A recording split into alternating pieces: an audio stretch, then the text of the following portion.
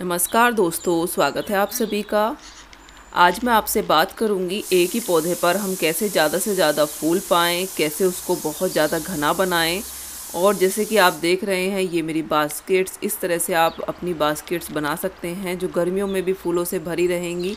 गर्मियों में आप इनमें पर्सलैन परचूल का लगाएँ रंग बिरंगे कलर्स एक साथ लगाएँ, जो बिल्कुल फूलों से भरी हुई बास्केट आपकी गर्मियों में भी इतनी सुंदर लगेंगी कि बस सब देखते ही रह जाएँ। तो उसके लिए आपको करना क्या है? कैसे हम पौधे पर ज़्यादा से ज़्यादा फूल पाएँ उसके लिए?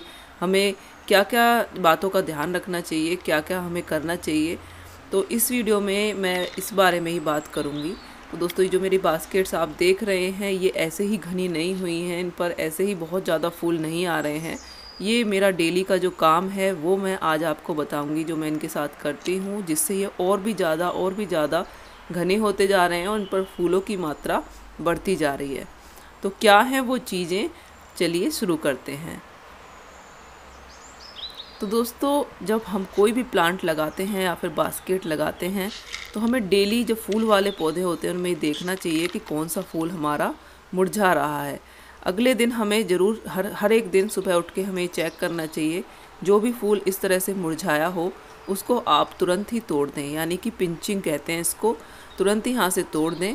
पिंचिंग करना बहुत ज़रूरी है प्लांट की, अगर आप पौधे को बहुत ज़्यादा घना बनाना चाहते हैं चाहते हैं कि एक ही पौधे पर आप ढेरों फूल ले सकें तो डेली चेक करें, जो भी फूल मुरझा रहा हो, उसको एकदम से वहाँ से तोड़ दें। इससे पौधे की एनर्जी बिल्कुल भी वेस्ट नहीं होती है और पौधे की जो एनर्जी है वो सारी नए फूल बनाने में लग जाती है। अगर पौधे पर फूल सूख जाता है तो वो बीज बनना स्टार्ट हो जाता है उसमें और पौधे पर फूल आने कम हो जाते हैं। तो ये सबसे बड़ा कारण है पौधे पर फूल कम आने का। अगर आप ज़्यादा फूल लेना चाहते हैं तो डेली अच्छे से चेक करिए। मैं कोशिश ये करती हूँ कि एक भी फूल मेरा ऐसा ना बचे कि कोई रह जाए और मैं उसको ना तोड़ूं, अगर वो मुरझा रहा है तो ताकि मेरे पौधे पर फूल आने कम हो। तो मैं बिल्कुल अच्छे से डेली चेक करती हूँ। अगर एक भी फूल मुझे मुरझाया हुआ लगता है, देखिए नीचे से इस तरह से बहुत सारे नई नई कलियाँ आती हैं और हमारा पौधा घना बनता जाता है और फूलों की मात्रा दिन पे दिन बढ़ती ही जाएगी। ऐसे ही आप पर्सलेन परचूलका में भी करें।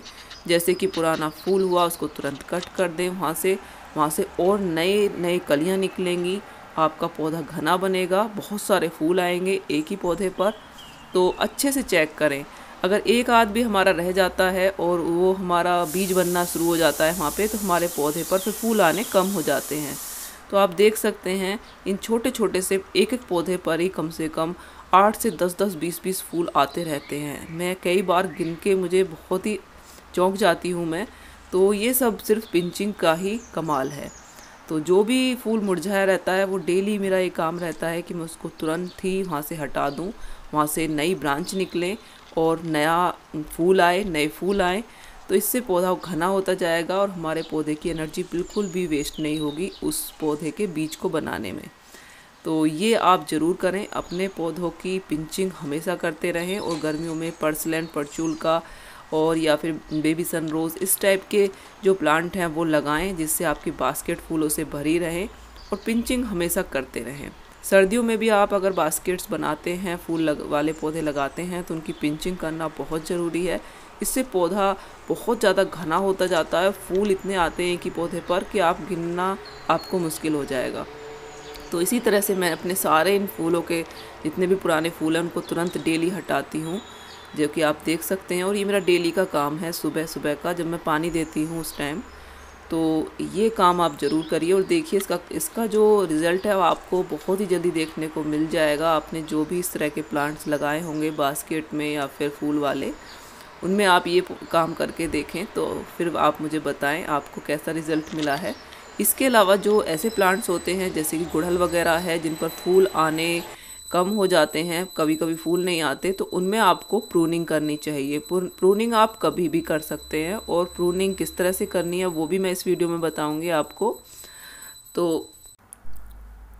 तो दोस्तों ये बास्केट ऐसे ही सुंदर नहीं बनी है। इनमें मेरी डेली की मेहनत है, जो मैं सुबह सुबह बिल्कुल ध्यान से देखकर इनकी पिंचिंग करती हूँ। तो आप जो भी प्लांट्स इस तरह से लगाते हैं बास्केट में फूलों वाले या फिर अपने किसी भी गमले में जो भी फूल वाले पौधे लगाएँ, उनकी पिंचिंग आप ज़रूर करें और फिर आप रिज़ल्ट खुद ही आपको देखने को मिल जाएगा। तो इस तरह से सुंदर सुंदर बास्केट्स आपकी बहुत ही फूलों से भरी तैयार हो जाएँगी और दिन प्रतिदिन ये बढ़ते ही जा रहे हैं। जिस तरह से मैं इनको जितना भी तोड़ती हूँ, उससे ज़्यादा नेक्स्ट अगले दिन बहुत सारी उसमें कलियाँ दिखती हैं और ये भर जाती हैं कलियों से। तो इसके अलावा जिस तरह से आप गुड़हल का पौधा मेरा देख सकते हैं, कमेंट भी आ रहे थे कि मैं अपना गुड़हल का पौधा दिखाऊँ। तो दोस्तों, इस पर फूल जितने थे वो आ गए थे, उसके बाद अब इसमें दोबारा से ग्रोथ स्टार्ट हो गई है। यहाँ का मौसम बिल्कुल भी इसके लिए बिल्कुल सही नहीं है, क्योंकि ये गर्मियों का प्लांट है और यहाँ पर ठंड है और ये मेरा पौधा इंडोर ही रहता है। जब धूप निकलती है सुबह की तो बस यहाँ पर गेट खुल जाता है तो यहाँ पर रख देती हूँ उसको जहाँ पर सुबह की इसको थोड़ी सी धूप मिलती है, चार पाँच चार घंटे की अगर निकलती है तो। इसके अलावा पूरे दिन ये पौधा इंडोर ही रहता है। और देखिए, अब इसमें दोबारा से फिर से कलियाँ आनी स्टार्ट हुई हैं उसकी हर एक ब्रांच पर कली है। आप देख सकते हैं। और ये एक बहुत ही कमाल की बात होगी कि इंडोर अगर इसमें मैं इसको रख रही हूँ और इस पर फूल आए तो।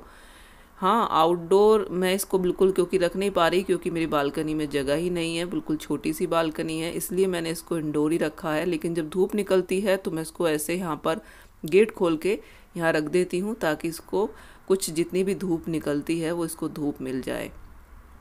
इसके अलावा पूरे दिन ये इंडोर रहता है। तो कलियाँ आप देख सकते हैं, हर एक ब्रांच पर ढेरों कलियाँ आई हुई हैं और तो इस तरह से अगर किसी भी आपके गुड़हल के पौधे पर या फिर जैसे कि जो भी इस तरह के पौधे हैं, गुलाब वगैरह उन पर अगर फूल आने बंद हो जाते हैं तो आप उनकी प्रूनिंग करें। प्रूनिंग मतलब अगर जैसे कि अब किसी भी ब्रांच पर कली नहीं आ रही है तो आप उसको वहाँ से कट कर दें थोड़ा सा जहाँ से आप कट करेंगे, वहाँ से कम से कम दो से तीन ब्रांच निकलती हैं और जब नई ब्रांच निकलती हैं तो उन पर नई पत्तियाँ, नई कलियाँ आती हैं। और पहले एक ब्रांच थी, अब एक में से तीन निकलेंगी तो तीनों पर जब फूल आएँगे तो फूलों की मात्रा ज़्यादा होगी और हमारा पौधा घना बनेगा। तो अगर फूल नहीं आ रहे हैं तो हमें प्रूनिंग करनी चाहिए ताकि हमारा पौधा घना बने और उस पर कलियाँ आएँ ज़्यादा फूल आएँ। तो ये बहुत ज़रूरी है, आप देख सकते हैं, ये पौधा जो है नीचे से सिर्फ़ एक ही ब्रांच है, ऊपर इसमें कम से कम दस ब्रांच हैं। ऊपर से इतना घना है ये पौधा और इस पर हर एक ब्रांच पर कली आई हुई हैं। तो जब इन, इस पर फूल जब खिलेंगे तो कितना सुंदर लगेगा। ये ऊपर से बिल्कुल घना है, दस ब्रांच हैं, आठ दस ब्रांच हैं इसमें।